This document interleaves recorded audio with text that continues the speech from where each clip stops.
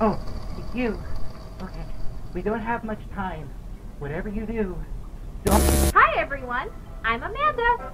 I'm Lily. Today we're going to get meat for Grandma. But isn't Grandma a vegetarian? Can you tell us where the butcher is?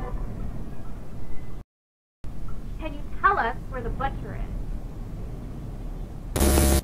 The butcher?